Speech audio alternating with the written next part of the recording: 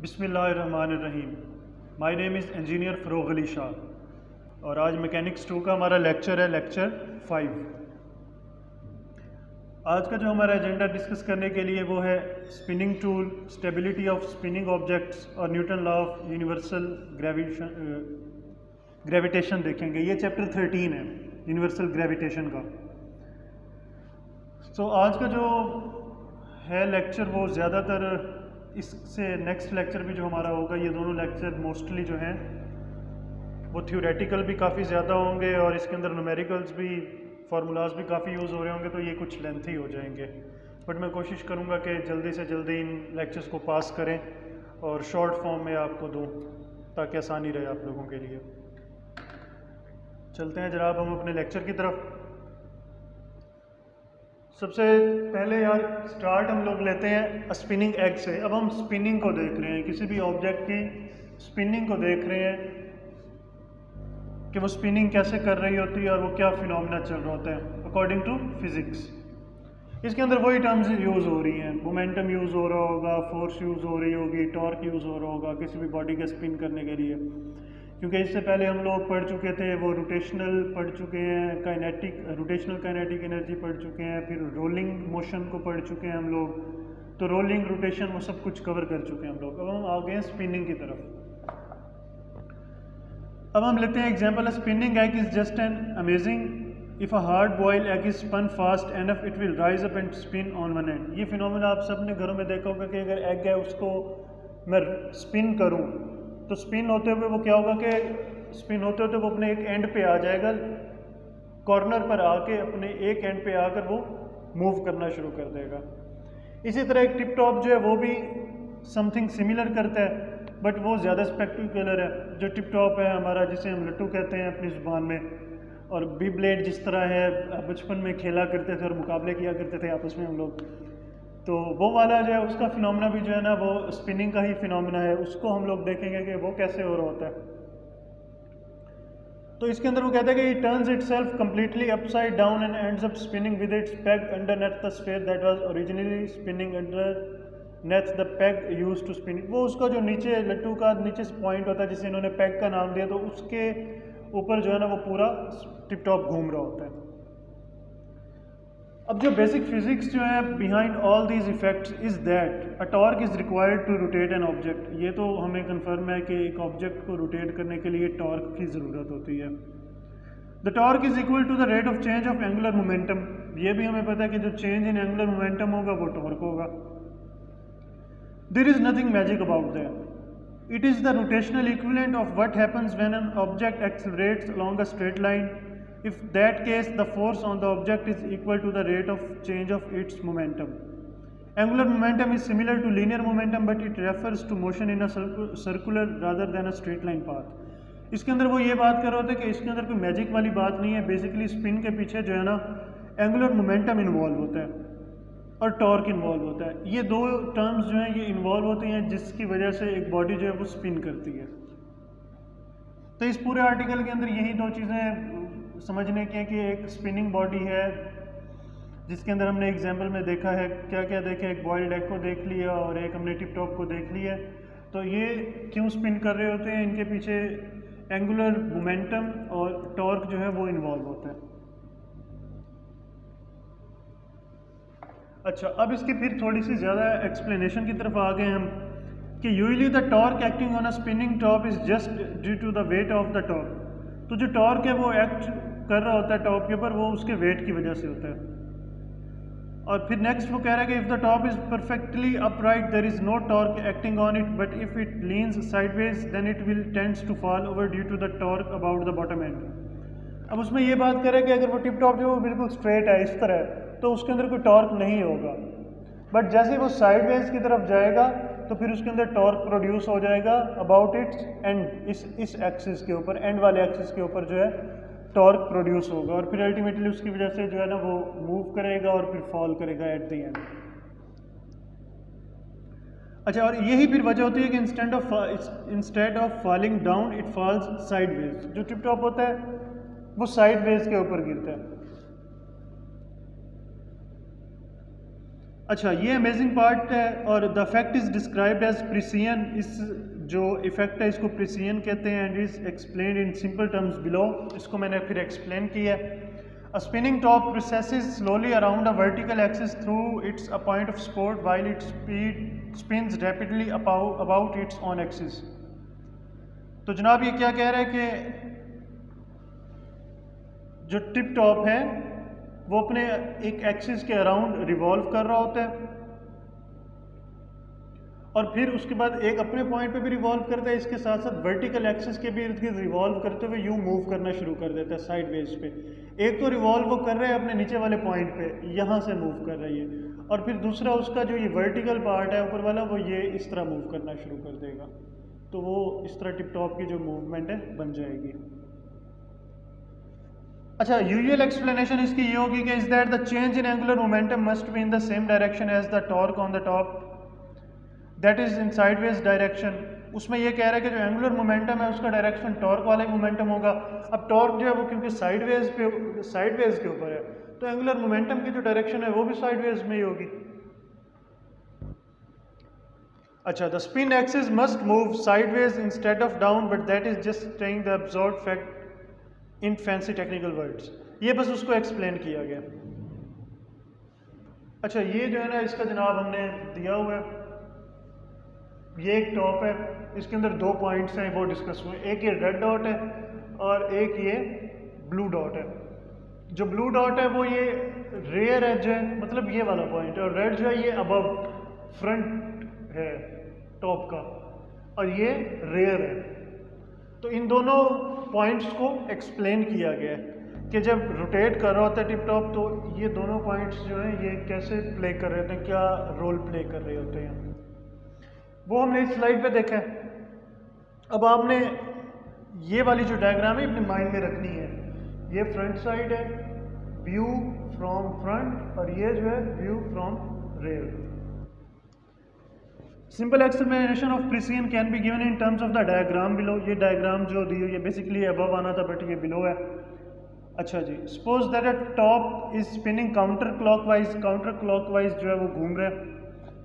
Viewed from above and suppose it is upright as drawn on the left side of the diagram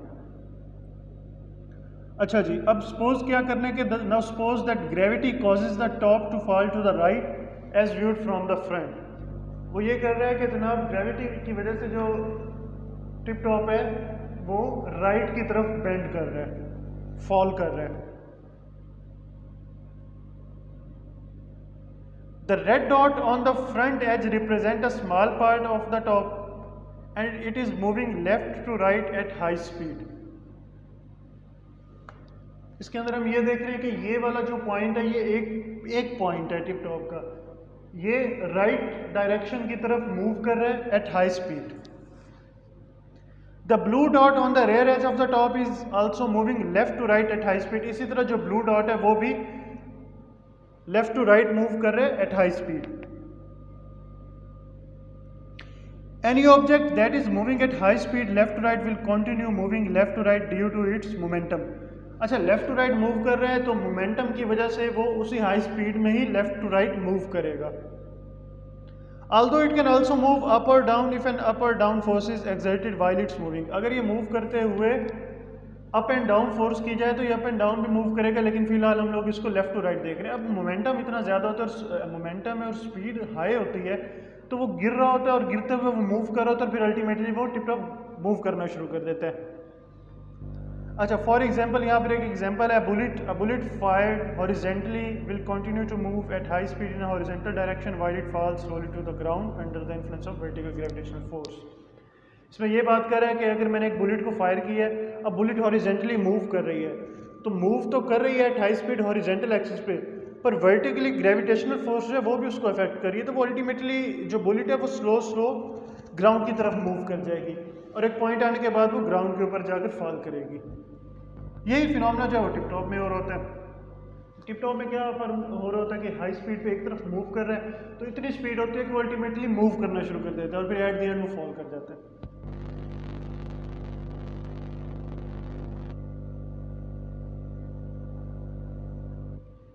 अच्छा जी। Gravity causes the whole top to tip to the right when viewed from the front, but the red dot will tend to move in a straight line since it is moving at high speed.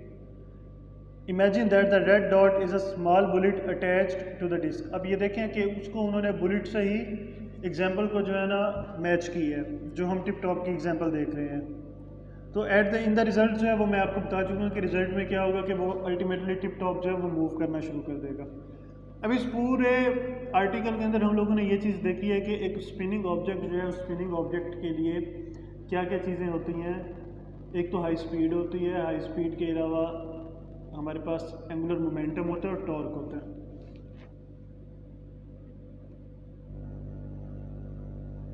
इसी तरह फिर momentum of blue dot को देखा है तो उसमें यह है कि the momentum of the blue dot tends to carry it forward in a straight line as as a result the rear edge of the top tilts down the whole top therefore tilts up at the front edge and down at the rear edge which means that the tip top top tilts into the page when viewed from the front इसमें यार basically ये है कि देखें,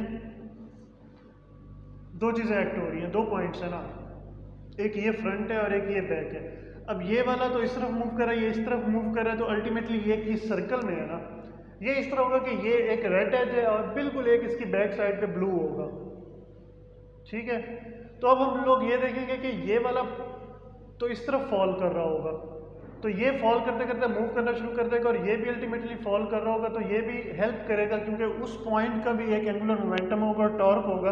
तो ultimately दोनों points और ये तो हमने सिर्फ़ दो पॉइंट्स लिए हैं। पूरी बॉडी के ऊपर नंबर ऑफ़ पॉइंट्स हैं तो हर पॉइंट के ऊपर एंगुलर मोमेंटम और टॉर्क जो है वो एक्सर्ट कर रहा है तो अल्टीमेटली बॉडी मूव करना स्पिन करना शुरू कर देगी।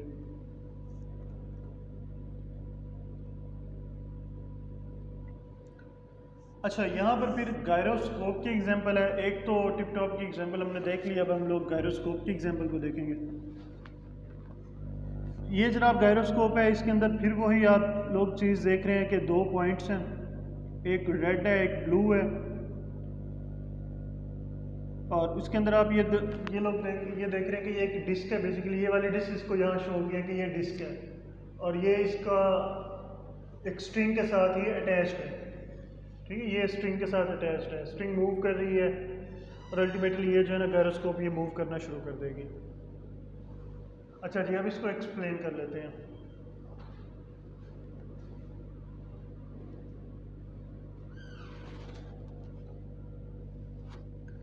अच्छा यहाँ पे एक सिंपल गायरोस्कोप है जनाब। Film that 600 frames per second the disc rotates once every 10 frame और इन 10 बाई 600 सेकंड्स ये उसके बारे में बताया हुआ है। तो अल्टीमेटली उन्होंने ये बताया कि 2.3 सेकंड्स के अंदर ये रोटेट करती है 10 फ्रेम्स मतलब 26 आरपीएम 2.3 सेकंड्स के अंदर 26 आरपीएम रोटेशन पर मिनट ये कर रही है। The mass of the disc is 108 grams and its diameter is 56 millimeter. The left end is supported by a length of a string. वो string हमने देखी है string के साथ वो है attached. The axis slightly above the horizontal since the disc is spinning so fast it drops below the horizontal as it slows down. The other end bobs up and downs rapidly due to nutation. The string swings out from the vertical to provide a centripetal force of the gyro. अब इसके अंदर ये basically ये बात की जा रही है कि जो स्ट्रिंग है, वो जब मूव कर रही है तो वो सेंट्रीपिटल फोर्स को प्रोड्यूस कर रही है जो अल्टीमेटली उस डिस्क को गायरोस्कोप को मूव करवा रही है। अच्छा इसके अंदर ये कि you can watch it for as long as you like and it won't fall down that is simply amazing it look it looks like a magic trick with hidden spider thread holding up at the other end but इसके अंदर ये कोई magic नहीं है, इसके अंदर फिर वही टॉर्क और मोमेंट जो है वो एंगुलर मोमेंटम वो इन्वॉल्व है।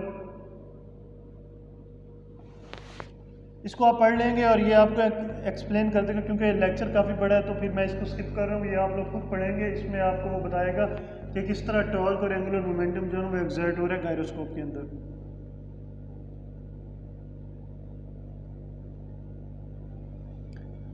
अब जो है ना, यहाँ पर एग्जाम्पल्स दी गई हैं। चार एग्जाम्पल्स मैंने दी हैं। एक तो टॉप की हमने एग्ज़ाम्पल देख ली है, दूसरी एग की एग्ज़ाम्पल हम लोगों ने देखी, तीसरी टिप टॉप है और चौथा कॉइन और डिस्क अब इन चारों के अंदर आप लोग ये देख रहे होंगे कि ओमेगा इन्वॉल्व है एंगुलर मोमेंटम ये ओमेगा एंगुलर मोमेंटम इन्वॉल्व है इन बॉडी की रोटेशन के लिए। इसको फिर आगे एक्सप्लेन किया है कि all four objects here are spinning on horizontal surface और ठीक है are precess at angular velocity angular velocity तो ऑफ़ कोर्स होगी ही उनकी। ओमेगा एंगुलर वेलोसिटी हम ओमेगा से करते हैं denote with a vertical axis vertical axis के ऊपर जो है ना जनाब इनका क्या है, ये ओमेगा ये वर्टिकल एक्सिस है वर्टिकल एक्सिस और इसके ऊपर एंगुलर वेलोसिटी है। अच्छा through the centre of mass mass है उसका and all spin at angular velocity omega about an axis of symmetry तो वो सारा मूव कर रहे हैं। अब यहाँ पर एक और टर्म यूज़ हो रही है। All are describe by Euler angular momentum equation which relates the change in angular momentum to the torque on the object ये जो है ना N is equal to M G ये है यूलर एंगुलर मोमेंटम इसके अंदर मैथ इन्वॉल्व हुआ है और जी ग्रेविटी इन्वॉल्व हो गई है।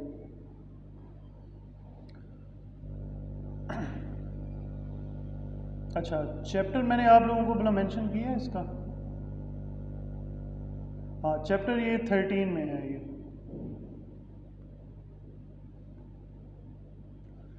उसके बाद इन चारों पॉइंट्स की ना एक्सप्लेन की गई है कि किस तरह ये चारों पॉइंट चारों बॉडीज़ जो हैं वो रोटेट कर रही होती है। ये आप लोग खुद पढ़ लेंगे। ये वाला लिंक है जहाँ से आपको हेल्प मिल सकती है, इस लिंक पर आप जाएँगे और इस लिंक पे आपको मज़ीद डिटेल मिलेगी। उसके बाद हम बात करते हैं स्टेबिलिटी ऑफ़ रोटेटिंग ऑब्जेक्ट्स की। Since angular momentum is a vector quantity ये आज एक क्वेश्चन में भी हम लोगों ने डिस्कस किया था। A couple is needed to change the angular momentum of a body It therefore follows that spinning objects are more stable than ones that do not spin. For this reason, a spin pass in rugby is more likely to go straight. Rifle barrels are grooved, rifled to make the bullet spin in flight, and satellites are given a spin when they are launched from the space shuttle. तो इसके अंदर जनाब stability की बात हो रही है कि अगर स्पिन होगा तो वो स्टेबिलिटी होगी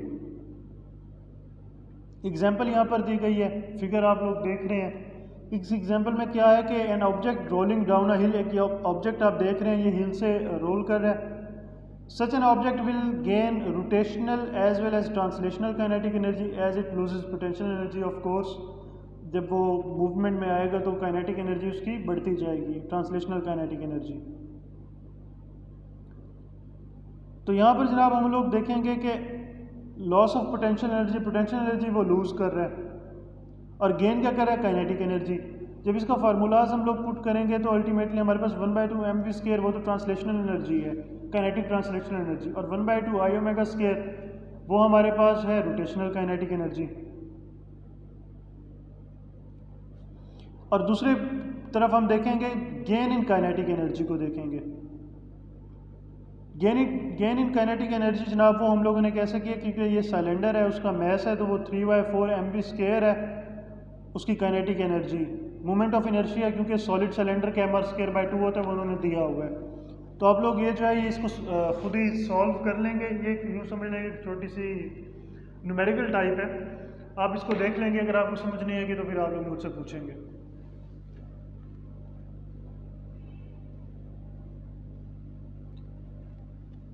अच्छा जी, उसके बाद हम लोग चलते हैं न्यूटन लॉ ऑफ़ ग्रेविटेशन की तरफ़।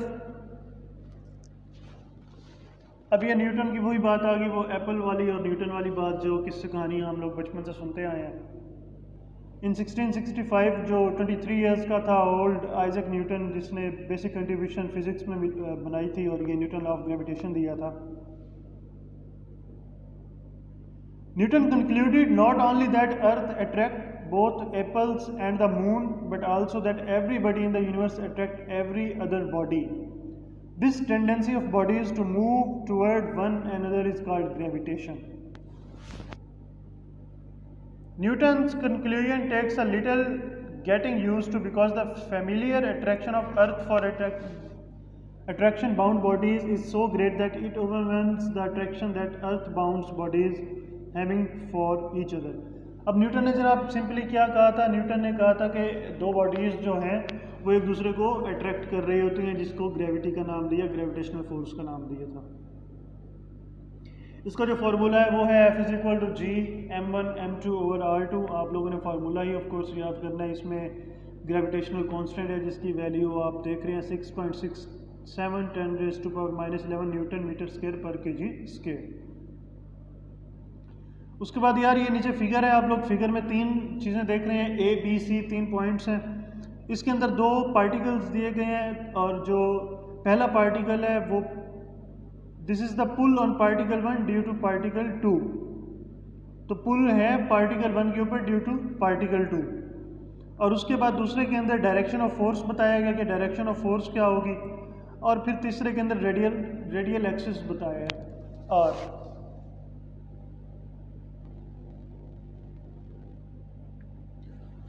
यहाँ पर एग्जांपल दी गई है और थोड़ा सा एक्सप्लेन किया एक्सप्लेन किया गया है। इसके अंदर जो एप्पल की एग्जांपल है, वो भी दी गई है। फिगर 13.3 के अंदर ये भी ऑफ़ कोर्स आप लोग पूरा पेज पढ़ेंगे और आपको कुछ समझ नहीं आएगा तो फिर आप लोग मुझसे डिस्कस करेंगे। इसमें बड़ी मज़े की चीज़ें लिखी हुई हैं, आप लोगों ने ये लाजमी पढ़ना है, क्योंकि ये अगर आप लोग नहीं पढ़ेंगे तो फिर आपको समझ नहीं आएगा।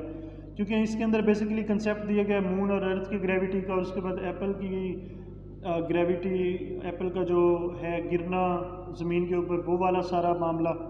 तो यहीं से जो ये सारे मामले को जब सॉल्व कर रहा था न्यूटन तो हमारे पास एक न्यू टर्म आती है विच इज़ शेल थ्योरम और शेल थ्योरम क्या है? Uniform spherical shell of matter attracts a particle that is outside the shell as if it as if all the shell's mass were concentrated at its centre इसके अंदर यही बात करें कि spherical shell है। और कोई बॉडी आउटसाइड दैट शेल है तो वो जो शेल है, वो अट्रैक्ट करेगा उस बॉडी को जो आउटसाइड है बॉडी के। तो एक तो हम पहले ये एक एग्जांपल देख लेते हैं। एग्जांपल से हम लोग इसको सॉल्व करते हैं। बेसिकली ये एग्जांपल है जिसके अंदर हम लोगों ने नेट ग्रेविटेशनल फोर्स फाइंड करनी है पार्टिकल की। तो फार्मूला हमारे पास है G M one M two over A two A square values को पुट करेंगे और आंसर हम लोग निकाल देंगे।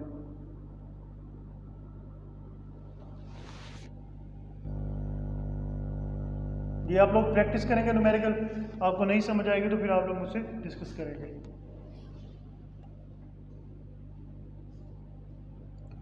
उसके बाद जनाब मैंने क्या किया है, एक पेज है, ये पेज आपके नेक्स्ट लेक्चर के अंदर भी यूज़ होगा। इसके अंदर मैंने वो सारी समराइज कर दी है चीज़ें कि क्या क्या देखें हम लोगों ने। लॉ ऑफ़ ग्रेविटेशन को देखा लॉ ऑफ़ ग्रेविटेशन जो है विच इज़ सिंपल है F is equal to G M one M two और आर स्केयर इसमें जी की वैल्यू आपको पता है। और उसके बाद हम लोगों ने देखा है gravitational behaviour of uniform spherical shells ये हम लोग नेक्स्ट लेक्चर में देखेंगे। पोटेंशियल एनर्जी ऑफ़ सिस्टम है, ये भी हम लोग नेक्स्ट में देखेंगे। स्केप स्पीड को भी देखेंगे कैप्टर लॉ को भी देखेंगे। तो फ़िलहाल इस आर्टिकल के अंदर तो लॉ ऑफ़ ग्रेविटेशन है, जो इस लेक्चर के साथ कनेक्टेड है।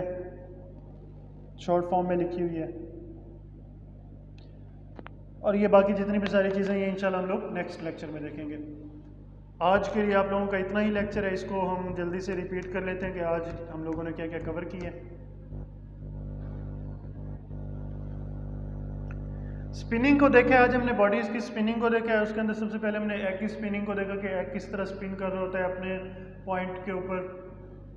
और फिर उसके बाद टिप टॉप की एग्जांपल हमने देखी कि वो कैसे कर रहा होता है। एक साइड की तरफ़ वो झुकता है और फिर उसके बाद मूव करता रहता है। वो अपने एक्सिस पर भी मूव कर रहा होता है और साइडवेज पर भी मूव कर रहा होता है और वो साइडवेज पर इसीलिए मूव कर रहा होता है कि स्पीड उसकी हाई होती है क्योंकि और हर पॉइंट का, हर पार्टिकल पार्टिकल्स हैं हर पॉइंट के ऊपर उसका अपना टॉर्क है और अपना एक एंगुलर मोमेंटम है जिसकी वजह से वो टिप टॉप मूव कर रहा होता है।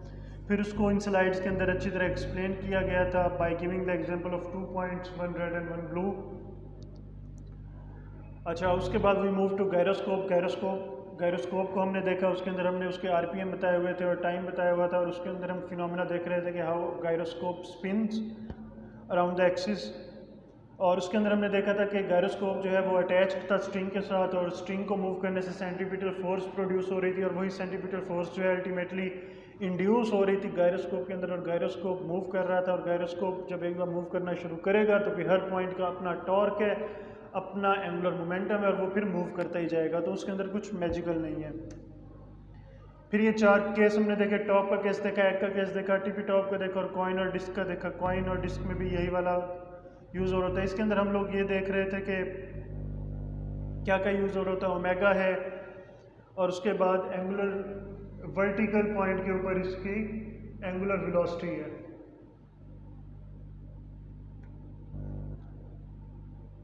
और उसके बाद हमने यूलर एंगुलर मोमेंटम देखा which is N is equal to M G जिसके अंदर मैथ भी इन्वॉल्व है और ग्रेविटी भी इन्वॉल्व है।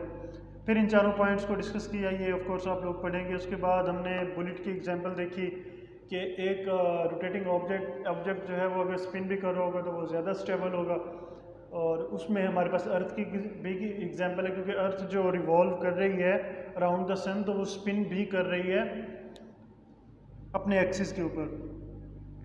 तो फिर हमने एक यहाँ पर एग्ज़ाम्पल देखी, इस प्रॉब्लम के अंदर एक बॉडी को देखा जो रोल कर रही है फ्रॉम अ माउंटेन और उसके अंदर हमने एनर्जीज़ को देखा उसके अंदर काइनेटिक एनर्जी को उसकी देखा चेंज इन काइनेटिक एनर्जी को देखा, फिर न्यूटन लॉ ऑफ़ ग्रेविटेशन देखा ग्रेविटेशन का फार्मूला है F is equal to G M one over M two over M one M two over R square और फिर इसकी कुछ एक्सप्लेनेशन है, ये आप लोग पढ़ेंगे और अल्टीमेटली फिर ऐड दिया हमने शेल थ्योरम को देखा। शेल थ्योरम ये है कि एक स्फेरिकल शेल है और आउटसाइड कोई बॉडी है उसके तो उसको अट्रैक्ट करेगा अपनी तरफ़। और उसके बाद हम लोगों ने फिर एक ये न्यूमेरिकल को देखा इस न्यूमेरिकल के अंदर सिंपली ग्रेविटा ग्रेविटी का ही फार्मूला हम यूज़ कर रहे हैं और वैल्यूज़ को निकाल रहे हैं। आज के लिए इंशाल्लाह इतना ही। नेक्स्ट लेक्चर में मुलाकात होगी। अल्लाह हाफिज़।